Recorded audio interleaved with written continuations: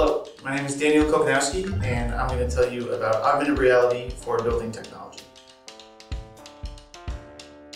The Fraunhofer Center for Sustainable Energy Systems is developing their future headquarters at Five Channel Center in South Boston, Massachusetts.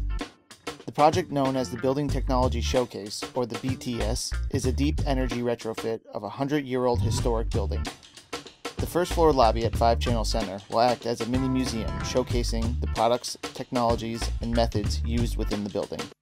This showcase will employ the most advanced tools in audiovisual technology to display information and data about these products. Some of the advanced technologies to be used include hand gesture recognition cameras, 3D televisions without glasses, visible light communication, and augmented reality.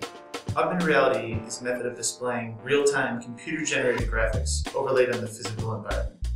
The augmented reality application plan for the BTS lobby is being developed internally by a highly technical team, both content developers and programmers.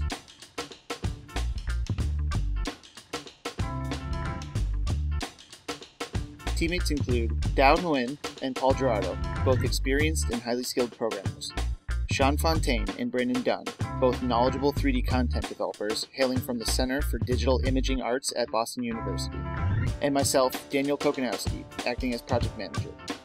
With my personal background in architecture, construction, and 3D design, we have been able to create a fully functional AR application for use in building technology.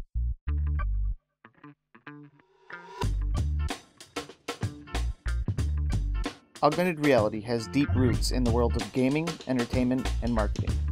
The goal with this application is to steer away from these common trends and create an application that is both visually appealing as well as functional. The augmented reality application in CSE's Lobby Showcase will be somewhat of an X-ray vision tool. This tool will allow visitors to virtually see through walls and floors to view the systems hidden within. There are a total of six AR exhibits, the technologies being showcased in the exhibits are the radiant heating system, the basement and chiller, audio-visual electric use, lighting energy efficiency, displacement air technology, and the insulation testing wall. The marker viewed will automatically trigger a reveal that will peel away the walls and floors to view the system hidden within. Once revealed, the user can then click the Play Demo button and watch an animation demonstrating how the system functions.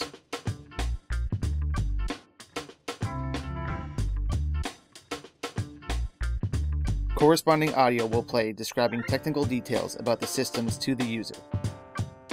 By combining augmented reality and virtual reality, users will not only have the ability to see into inaccessible areas, but will be immersed in the spaces themselves. This allows the general public to fully experience areas that are not accessible to them otherwise. What sets this AR application apart from most others is the concept of manipulating AR visuals based on actual live and historic data collected from these systems. With thousands of sensors installed throughout the building, the performance of every system is being monitored, tracked, and recorded.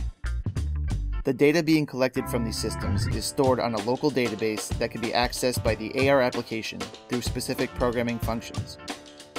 Controlled by the marker being viewed, the application pulls information from this database and changes the corresponding visualizations based on the data received.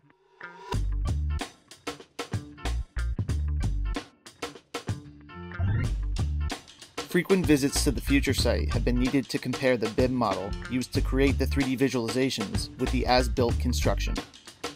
This has been a crucial step in ensuring accuracy of our models, there have been many rounds of testing and multiple iterations on the user interface as well as the models and animations.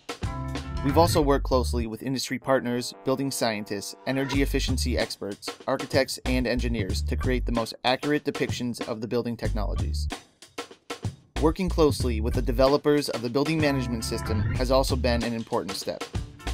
The BMS monitors the majority of the building systems and provides data to the local database. It is crucial to understand the type of data being collected in order to ensure that our AR data visuals are accurate. Augmented reality has enormous potential for practical applications in the built environment. Through dedicated research and development, our team plans to continue to address challenging use cases and deliver effective solutions.